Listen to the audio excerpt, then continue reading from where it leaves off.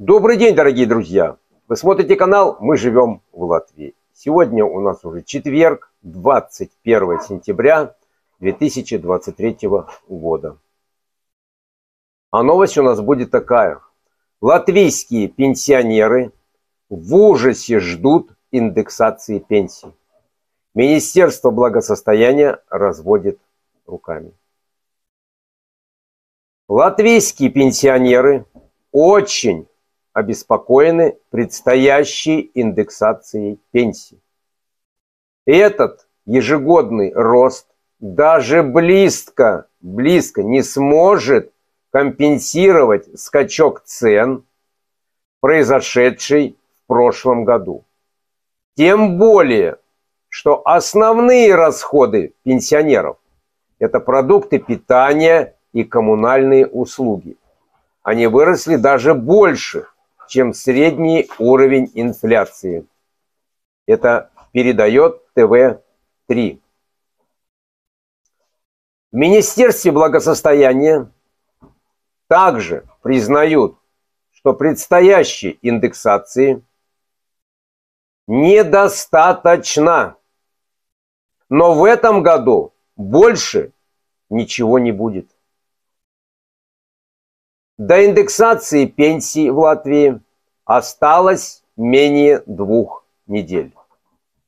Но этого повышения будет, будет каплей в море по сравнению с сумасшедшим ростом стоимости жизни, который мы наблюдали в прошлом году, да и сейчас наблюдаем. Из-за инфляции покупательная способность денег снижается. Поэтому государственные пенсии индексируются каждую осень. Расчет сложен. Сложен расчет. Обычно оценивают, как изменились потребительские цены в течение года и как изменилась сумма заработной платы страховых взносов. Или, грубо говоря, что произошло с заработной платой в народном хозяйстве. Этот год станет исключением. Проблема в том, что он учитывает не то, что произошло с фактической заработной платой, а с так называемой реальной заработной платой. А именно, здесь тоже рассчитывается инфляция. А в прошлом году она полностью съела прибавку к зарплате. Фактически это означает, что в этом году при расчете повышения пенсий учитывается, внимание, учитывается только фактический индекс потребительских цен или генератор годовой инфляции. На графике, на графике же мы можем увидеть, как обстоят дела с августа прошлого года. Еще в мае годовая инфляция выражалась двузначными числами. В мае этого года, 2023 года. Именно вот меньше двух недель осталось до индексации. Смотрите. Это сам уже, друзья, добавляю. Еще в мае, повторяю, мае этого года годовая инфляция выражалась двузначными числами. Но расчет индексации пенсий включен в июль, когда инфляция составляла 6,4%. Друзья, не могу. Надо, я немножко прокомментирую, буквально несколько секунд. Они просто это из пальца высосали, из пальца. Ну вот, вот, просто вот. Тыкнули. И 6,4%. Я как-то в новостях говорил. Ну, как минимум надо, как в прошлый раз. Ну, как минимум 20, 20%. Но не 6,4. А то и поболее, чем 20. Пример. Дальше продолжаю. Пример. Пенсия 500 евро. что недалеко от средней пенсии по стране. Ее необходимо умножить на коэффициент, соответствующий уровню инфляции 1, 1,064 и, соответственно, увеличение составит 32 евро. В свою очередь, пенсионер, получающий, например, 320 евро, может рассчитывать на прибавку только примерно, примерно, повторяю, на 20 евро. Недостаточно. Так описывает эту ситуацию главный экономист Шведбанка либо Зоргенфрейя, подчеркивая, что фактически, фактически мы наблюдаем высокую инфляцию уже два года. Так а в чем же дело? А что наши тогда? Кто это высчитал 6,4? Хотелось сказать, что за неумные люди? Ага. В Эстонии, в Эстонии и Литве намного уже давно больше. Я имею в виду пенсии, друзья. Размер пенсии. Так же самое, как и минималка. Что происходит у нас? У нас ложь. Это самое и провокация, я имею в виду от, оттуда, от наших шишек. Кедровых, сосновых, еловых. Но вы понимаете, о чем речь идет? Да, да, да, да, да, да. Им так надо, понимаете? Им так надо. Дальше слушаем. За этот период счета за еду и коммунальные услуги стали выше, чем отражает средний уровень инфляции.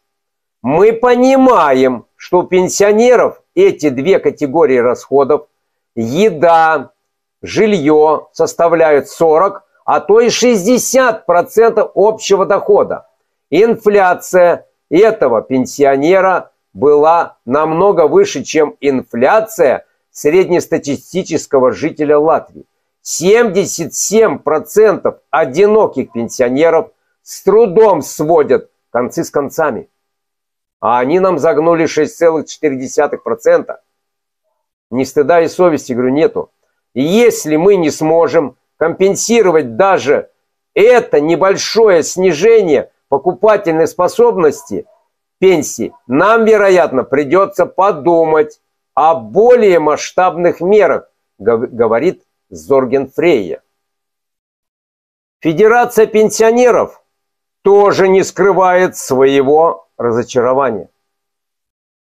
Еще раз повторю. Федерация пенсионеров Латвии тоже не скрывает своего разочарования. Ничего обнадеживающего нет.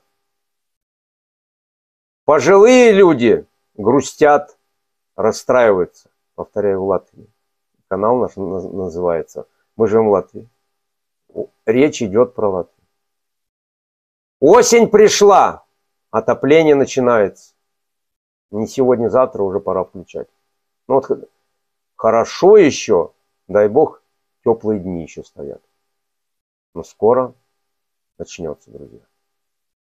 Новый министр благосостояния Латвии Улдис Аугулис от Союза зеленых и крестьян готов выдвинуть идею индексации пенсий дважды в год.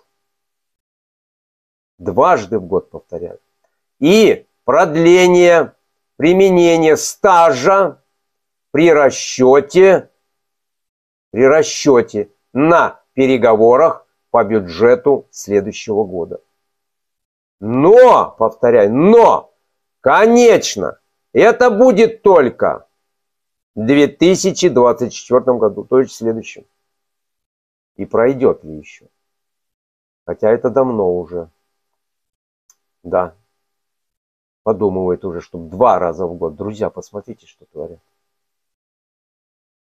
Я имею в виду, что вот смотри, один раз и, ну ладно, один раз, но еще раз повторяю, как минимум 20 надо процентов. Как минимум от 20 процентов повышать индексацию пенсии в Латвии. А чтобы догнать Литву и Эстонию, нам надо дважды в год, это как минимум дважды в год, как минимум по 30%. Ну, это так, я бы примерно. По 30% индексировать два раза в год, чтобы догнать нам. За какой-то период. Так сразу мы не догоним. Нет. Довольно сложно. Вот я сейчас остановлюсь, да? Еще раз, не устану повторять, куда-то они деньги сразу находят. Куда догадываетесь сами. Я больше чем уверен, все сто процентов догадываются. Куда деньги находятся сразу. Почему такая, такая незабота о своем населении, о своих же коренных жителях Латвии, которые всю жизнь, повторяю, всю жизнь здесь работали, всю жизнь платили налоги, и такая незабота. В чем дело? Почему они тянут?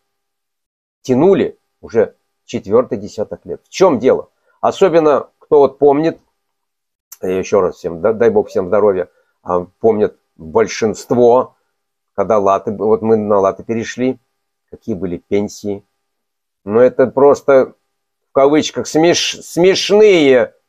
Это мизерные нищенские пенсии дали. Откуда такое все? А почему так?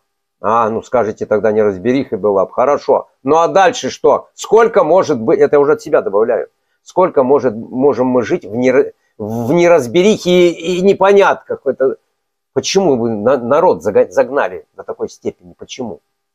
Особенно пожилых людей, пенсионеров. Почему, спрашиваю? Тогда у вас были отмазки, отговорки. Но, но, кто помнит, когда дубинками погоняли да-да-да, вы не, не ослышались, если молодые не помнят. именно дубинками били пенсионеров, разгоняли. Ну, я не буду называть года и копаться, точно не могу назвать какие. Ну, были, уже латы были. Они вышли бы протестовать. Почему такие мизерные пенсии? Невозможно жить. Уже тогда было, когда еще латы были в самом начале. Однако же, им сразу поднимать начали и не на 6%, даже не на 10 и не на 20%, а на много. А, а потому что, да, потому что в Европе и в мире заинтересовались, что же там происходит, у нас здесь происходит. Почему это вы бьете, вежливо сказано, вежливо еще, пенсионеров, разгоняете. Они что? Из-за чего это заинтересовались? И почему-то сразу начали повышать. Подтвердите, пожалуйста. Ну, кто-то, может быть, и слышал. Я, некоторые я, конечно, свои мысли повторяю иногда, потому что, ну, пожалуйста, вот тема про, про индексацию пенсии, друзья. Как ее не поднять? Так что? Получается, опять надо всем пенсионерам выйти, чтобы обратили внимание весь мир. Иначе вы не, не найдете этих денег. Никогда в жизни. И все время будете вот эти вот подачки подавать мизерные. Я не спорю. Прошлый раз. А про, откуда вы нашли деньги прошлый раз? А? И все равно, вот при такой, ну, относительно большом, большой индексации пенсии, вы же помните, я сейчас э, спрашиваю у пенсионеров, которым повысили, Действительно было по 100 евро в среднем каждому, да? Нашли деньги. А сейчас почему не... Что, нету денег? А куда они делись? Назовите причину. Я уже теперь уже не пенсионеру спрашиваю. И опять же повторяю, куда-то находятся сразу деньги. Сотнями миллионов. Десятки, не, несколько десятков ну, сотнями, сотнями, друзья, что там говорить, сотнями. Довольно сложно я остановился, да? Это запланированные расходы бюджета 2023 года. И мы работаем над бюджетом 2024 года. Скорее всего, изменений в бюджете не будет. И запланированный ресурс для индексации станет, останется, друзья, для индексации, запланированный ресурс для индексации останется на нынешнем уровне. Это говорит Аугулис. Новые пенсии, новые пенсии вступят в силу с октября после индексации. Ну, с 1 октября, чтобы понятно было. Сего года, 2023 года. Вот такие вот новости, друзья.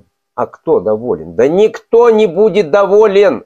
Еще раз повторяю, прошлый раз они из-за чего подняли, э, ну, относительно, в кавычках, так, так много. И то не очень-то люди почувствовали, потому что сразу же тут же все пошло вверх, цены вверх, все, буквально все. А что говорить уже тогда про этот год? Какие коммунальные? Но электричество тут, смотрите, вон они тут песни-пляски устраивают, я в кавычках, конечно. Концерты нам устраивают здесь. Театр. 60%, да то, да сё. А зачем поднимали тогда вы свое электричество, вырабатываемое и так далее? Все мало. Не нажраться. Жажда наживы, тяга к обогащению превыше всего. И так далее по тексту, друзья.